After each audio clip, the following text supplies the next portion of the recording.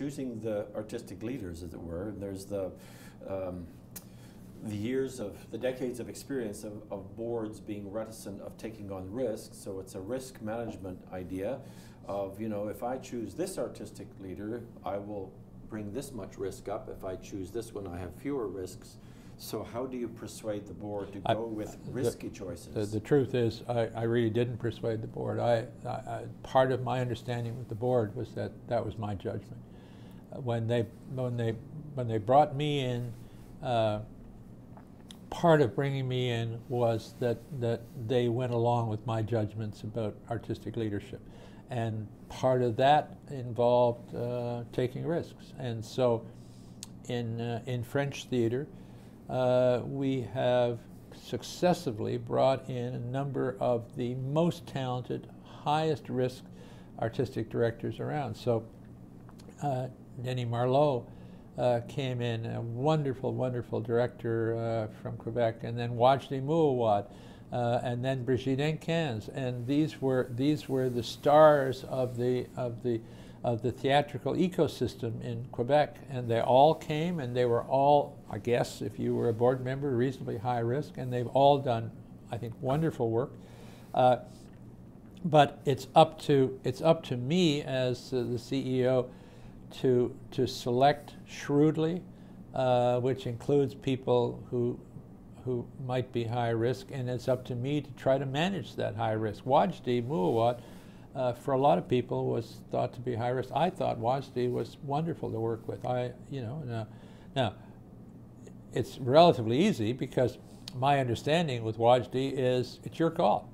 Uh, you, you're, you know, you've been hired because it's you're, your season, your it's your season. It's, it's, you have to make the decision. You I, don't have to do the Christmas Carol every Christmas. Y- You don't, uh, and uh, you know if you're sensible, you will, you will, you will, uh, you will have a kind of balanced season that will allow you to get a reasonable audience, reasonable subscription levels, which will allow you to, your more popular things to cross-subsidize your your more demanding things. But but it's your call, and uh, and when, when and Peter Hinton was was brought in here, we all cheered. At least I cheered. yeah, I, I, because I, I did- I did too. I recognized the risk that you had decided you were going to take for the Yeah. NAC, and you risked on the creative side rather than risking, rather than guarding the financial side. Yep. You risked for the creatives, and that's when we stood up and cheered. But the interesting thing about Peter Hinton is is that Peter Hinton decided in his first season to do an all Canadian uh, season, and I said to him, "Look, uh, it's, it's fine.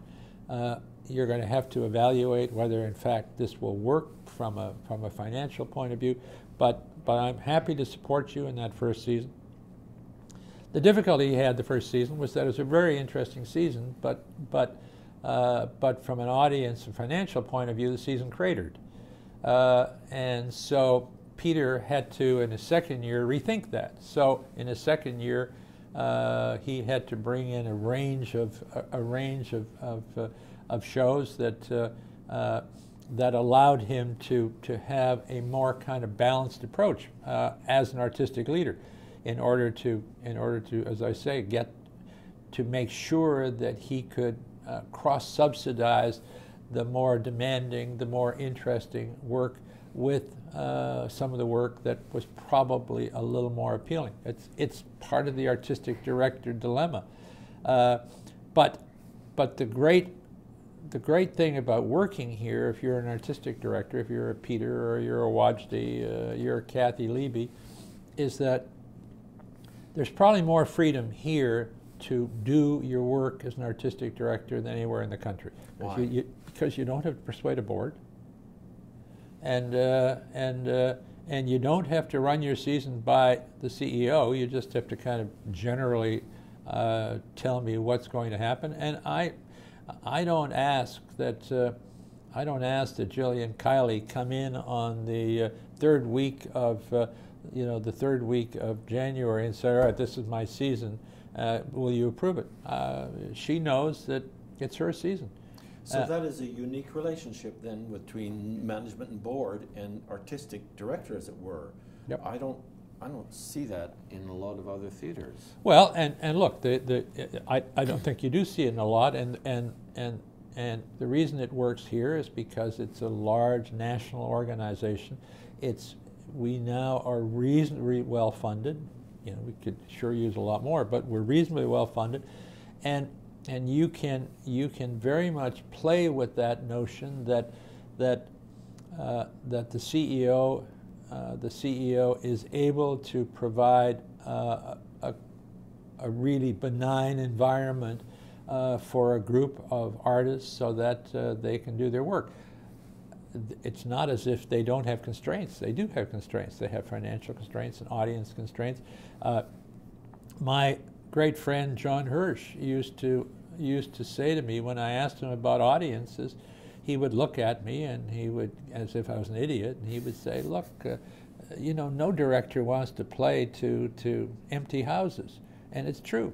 So that audience considerations are, are a factor, and financial considerations are a factor, and but but from an artistic point of view, uh, you make your own decisions about what you think a season should look like and what you think three or four seasons should look like, and it's and it's a good place to work. So, how would you persuade, cajole, and nudge other arts organizations in English Canada? Let's say English Canada now, that are, mm, let me put it um, diplomatically, to take a card from the book, that are careful, that are safe.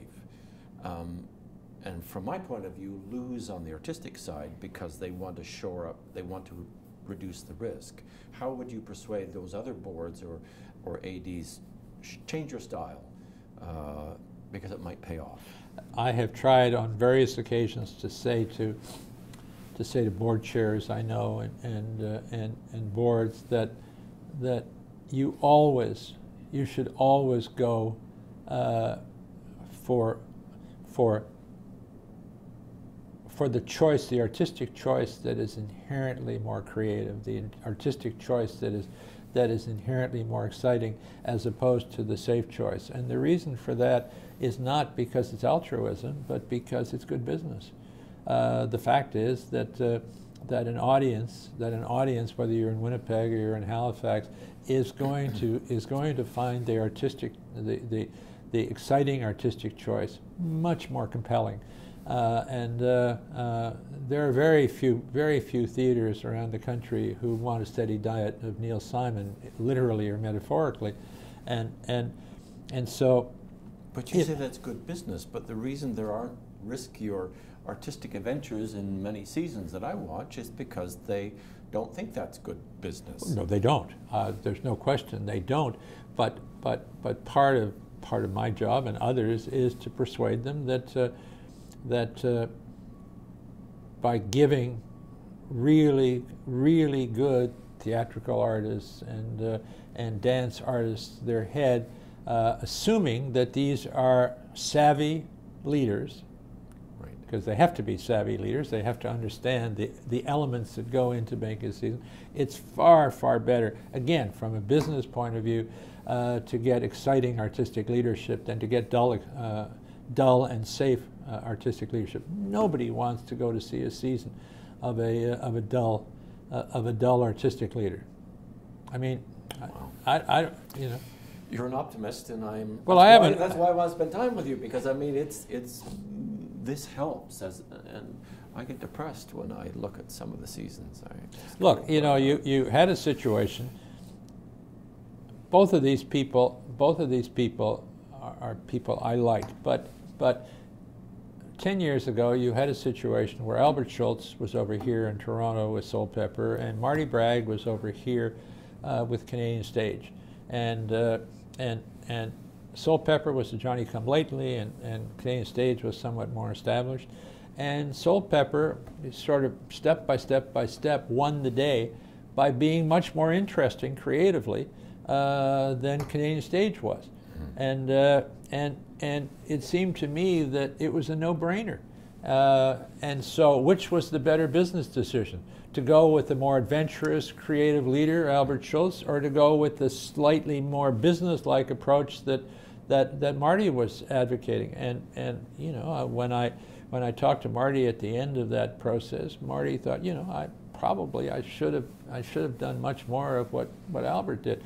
But, but it's a very interesting, tangible example of two theaters starting here like this, and the, the creatively adventurous one uh, really winning the day in, uh, in, by, by every standard.